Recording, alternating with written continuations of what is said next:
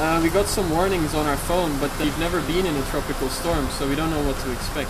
Whether the threat is for one county or every county, Uh, people need to be off the road tonight by nightfall. It's nice to see they're taking all the precautions they need to. News Channel 7 is there first, providing you coverage on air, online, and on our app. Thank you for keeping everyone posted on the conditions. Thank you from Franklin County. God bless and stay safe. Really appreciate all the updates. What a great station. Because what matters to you matters to us.